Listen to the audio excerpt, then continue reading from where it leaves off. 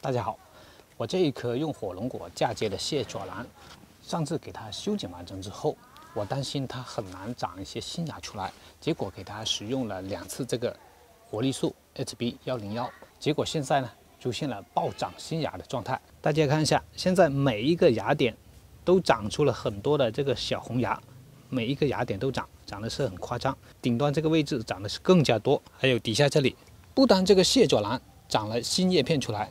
这一颗火龙果呢，也长了很多的这个新芽出来，大家看到没有？这一个芽点呢，又长了一颗芽出来。像这种芽，直接给它掰掉。这种 HB 幺零幺为什么效果这么好？用两次就能达到这种状态呢？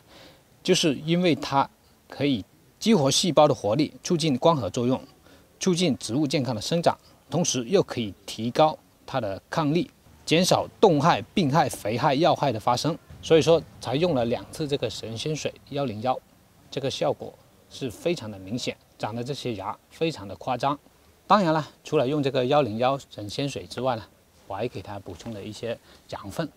因为这种幺零幺，毕竟它也不是肥料，它只是激活植物的细胞，让它生长能力变强。所以呢，还是要适当的给它补肥的，才能保证这个新芽长出来更加的强壮。好了，如果大家的花卉也出现生长缓慢的话，不妨尝试一下。我们下期再见。